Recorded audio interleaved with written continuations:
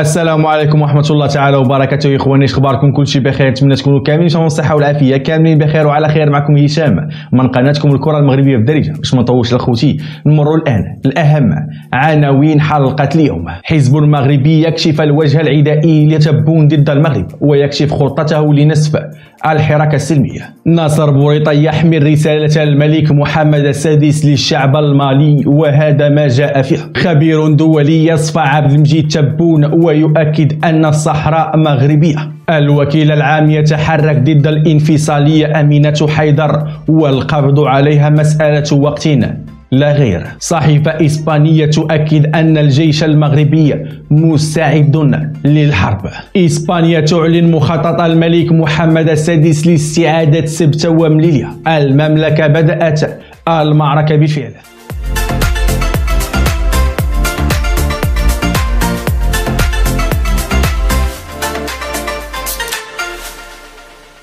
نبه حزب جبهة القوى الديمقراطية إلى خطورة تنامي عداء النظام الجزائري للمغرب. في هذه المرحلة الدقيقة من تاريخ الإنسانية التي تستدعي التضامن والتعاون بما يشكل من مغامرة غير محسوبة العواقب وتهديد خطير للأمن والاستقرار المنطقة ولامتدادها القاري والدولي. وأدان الحزب. في بيان صادر عنه سلوك النظام الجزائري بقيادة عبد المجيد تبون وحملته المسعورة الحالية بهدف تغذية التوتر السائد بالمنطقة.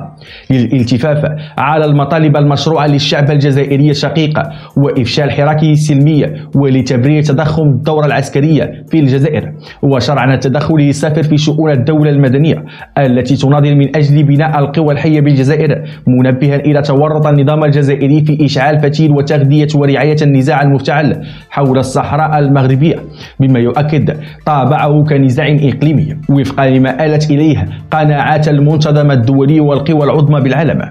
كما أكد الحزب في الأخير ثقته في قدرة الشعب الجزائري وكل شعوب المنطقة بقواها الحية على فرض إرادتها لتنفيذ تطلعاتها المشتركة إلى الديمقراطية والتنمية والأمن والسلام.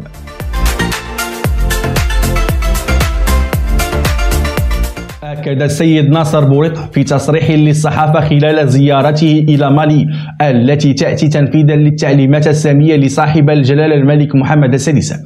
أنها رسالة تشجيع مقارنة بكافة المبادرات الهامة التي تم اتخاذها لوضع مالي على طريق انتقال سلس وواعد يمكنه من بناء مالي الغد.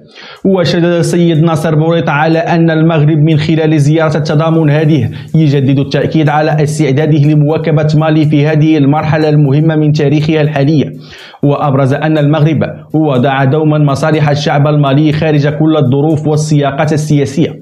واليوم هذه الظروف الخاصة للغاية فإن المملكة المغربية وفقا للتوجهات السامية لصاحب الجلالة الملك محمد السادس على استعداد لمواكبة كافة الأولويات وجميع البرامج التي ستحددها السلطات المالية خلال هذه المرحلة. وأضاف السيد ناصر بوريطة أن هذه الزيارة لباماكو هي أيضا رسالة صداقة موجهة لكل مختلف القوى الحية في مالي حتى يتعبأ جميع الماليين لإنجاح هذه المرحلة الانتقالية حتى تتمكن حاليا كل القوى الحية والمؤثرة والتي بإمكانها تقديم المساعدة لمالي.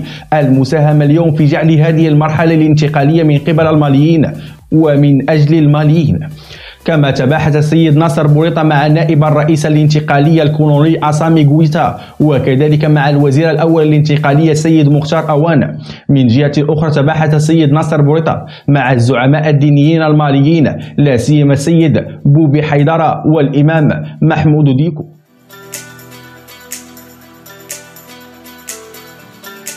قال الخبير البيروفي في العلاقات الدولية ريكاردو شانسيس سيرا. إن تسوية النزاع المفتعل حول الصحراء المغربية يمر عبر قبول مخطط الحكم الذاتي الذي اقترحه المغرب بقيادة الملك محمد السادس. وأكد السيد شانسيل سيرا في مقال نشره على الموقع الإخباري برينسيا 21 أن الحل يمر عبر قبول الحكم الذاتي في أفق تحرير ساكن المحتجزة من طرف البوليزاريو في مخيمات تيندوف بالجزائر وأشار الخبير البيروفي في هذا الصدد إن الساكنة في الأقاليم الجنوبية للمملكة المغربية تتمتع بالحرية السياسية والنهوض بالتنمية الاقتصادية التي يتبناها المغرب بينما تم نشر لجان لحماية وتعزيز حقوق الإنسان. وبالعودة إلى موقف رئيس الحكومة الإسباني بيدرو سانشيز والذي جدد التأكيد أمام الجمعية العامة للأمم المتحدة. دعوة إسبانيا لحل سياسي قائم على التوافق وذلك وفقا للقرارات ذات الصلة الصادرة عن مجلس الأمن التابع للأمم المتحدة. أكد السيد سانشيز سيرا أن هذه ليست المرة الأولى التي تعبر فيها إسبانيا عن موقفها من هذا النزاع الداعم للمغرب الإقليمي الذي خلفته الجزائر. أي بالإشارة إلى قرار مجلس الأمن وعبر الخبير البيروفي عن أسفه لكون أن في الوقت الذي يطالب فيه المغرب باحترام وحدته الترابية وهو الموقف الذي يحظى بدعم متزايد باستمرار داخل المجتمع الدولي تواصل البوليزاريو احتجاز عشرات الآلاف من الأشخاص كرهائن في مخيمات دفا وشدد على أن ما يسمى الجبهة الصحراوية أو الجمهورية الصحراوية هو مجرد وهم إنه غير موجود لا يتوفر على الشروط التي يتطلبها القانون الدولي لتأسيس دولة. مشيرا إلى أن عدد من البلدان قد قامت بالفعل بسحب اعترافها بالكيان العميل للجزائر. وسجل سانشيز يرى أنه يتعين التأكيد على أن الجزائر صنفت على أنها جزء من النزاع الإقليمي في الواقع إنها ليست جزء من المشكل. إنها المشكل لأن البوليزاريو ليست سوى دمية لها وهذه الأخيرة ليس لها أي سلطة اتخاذ أي قرار.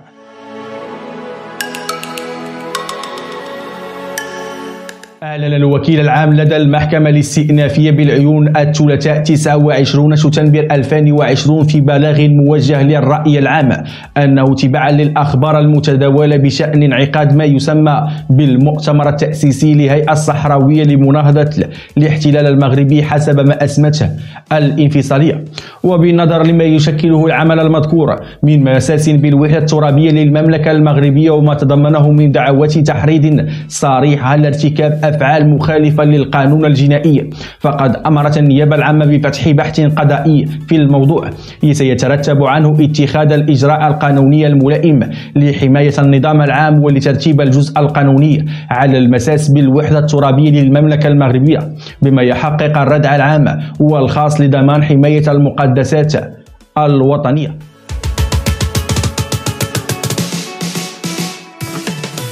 أكدت صحيفة إسبانية أن المغرب يسارع إلى اتخاذ إجراءات من أجل مواجهة الاستفزازات من خلال الاستعداد عسكريا على أرض الواقع لأي احتمال. وبحسب أتلاريا وكرسالة قوية للجزائر وجبهة البوليزاريو الانفصالية.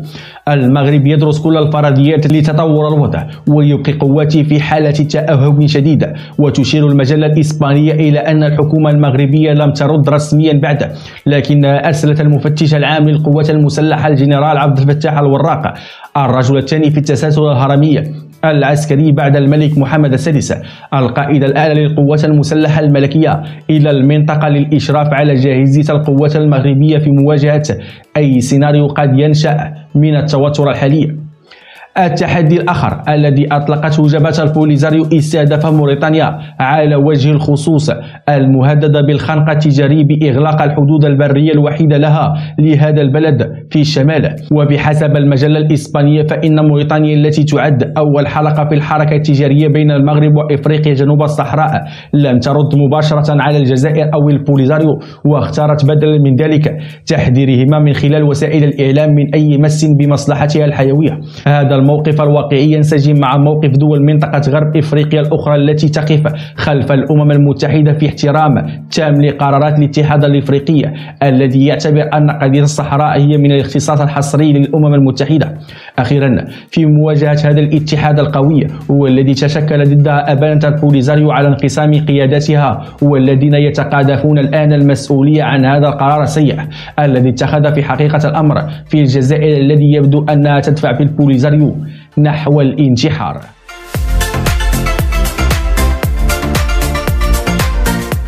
نشرت صحيفة الإسبانيول الإسبانية تقريرا تتحدث فيه عن وجود مخطط استراتيجي للمغرب من أجل استرجاع سبت ومليليا دون حرب.